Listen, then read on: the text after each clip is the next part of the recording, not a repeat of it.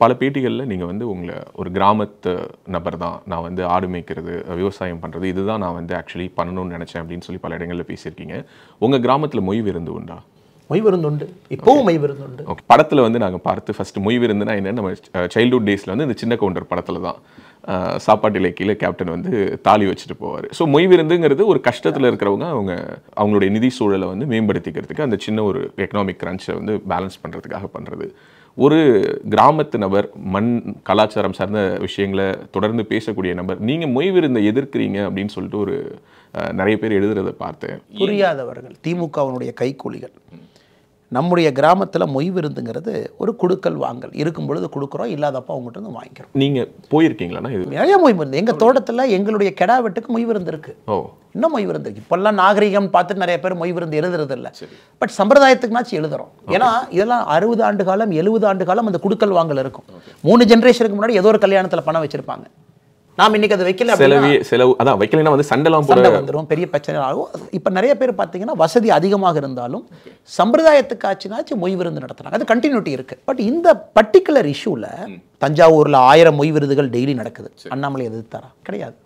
இல்ல அதான் ஒரு திமுக எம்எல்ஏ உடைய வீட்ல நடந்ததுனால எதிர்த்தீங்களா? டெல்டா பகுதியில் பத்தாயிரம் மொய் விருந்துகள் தினமும் நடக்குது. கொங்கு பகுதியில் பத்தாயிரம் மொய் விருந்துகள் நடக்குது. அதை பற்றி நம்ம பேசுகிறோமா கிடையாது.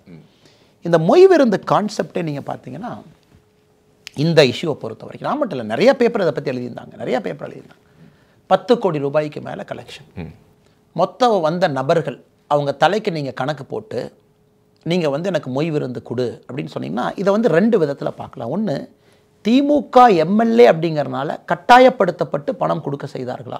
நம்பர் ஒன் அப்படி இருந்தால் அதுவும் தவறு தான் பத்து கோடி ரூபாய் மொய் விருந்து வேண்டும் என்கின்ற அளவுக்கு அந்த மனிதன் என்ன வளாமல் இருந்தாரா? கஷ்டத்தில் இருந்தாரா? சாப்பாட்டுக்கு கூட ரொம்ப கஷ்டப்பட்டுக்கிட்டு இருந்தாரா எந்த அடிப்படையில் நீங்கள் பார்த்தாலும் கூட நாம் சொல்லியிருப்பது இவர்கள் சொல்லுகின்றது சரியாக இல்லை அப்படின்னு. அதுவும் குறிப்பாக திமுக எம்எல்ஏ ஆளுகின்ற கட்சியினுடைய ஆளு அவர் வந்து இந்த மாதிரி இருக்கும் பொழுது இது அரசு வந்து பார்க்கணும். இது அரசு வந்து என்கரேஜ் பண்ணுச்சுன்னா நாளைக்கு திருச்சியில் ஒரு மிகப்பெரிய ஜாம்பவான் அமைச்சர் மொய் விருந்து வைப்பார்.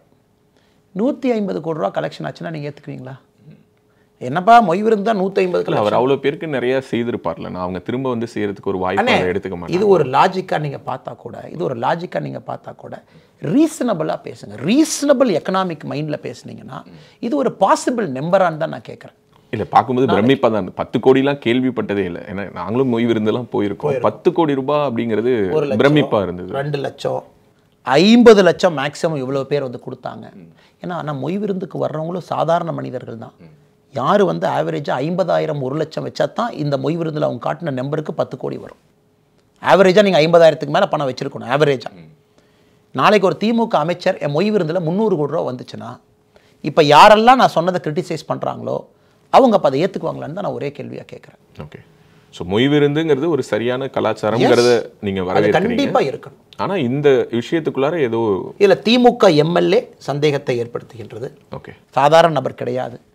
வந்த மனிதர்களுக்கும் வைத்த மொய்யுக்கும் இருக்கக்கூடிய அளவு. ஏன்னா அதே நாளில் தான் திராவிட கழகம் அவங்களும் ஒரு மொய் விருந்து மாதிரி ஒன்று வச்சாங்க. யாரோ ஒருத்தர் மேலே உட்காந்துருக்காரு ஒருத்தர் முட்டியை வச்சு ஒருத்தர் அமுத்திட்டு இருக்கான். இன்னொருத்தர் ஒரு அம்மா அப்பாவை மேலே ஏறுறாங்க. அந்த அம்மா கையில் ஒருத்தர் அந்த பக்கம் பணம் கொடுக்குறாங்க. இந்த அம்மா கொண்டு இந்த பக்கம் பணம் கொடுக்குது. இதெல்லாம் ஒரே நாளில் நடக்குது. நம்ம நம்ம அறிக்கையை பார்த்தீங்கன்னா ரெண்டையும் சேர்த்து தான் நம்ம சொல்லியிருக்கோம். ஒரு துலாபாரத்துல. துலாபாரத்தில். துலாபாரமே வேண்டான்னு சொல்லுவாங்க இவங்க. துலாபாரம் வந்து ஆரிய புகுத்தி அப்படிம்பாங்க இவங்க திராவிட கழகம்.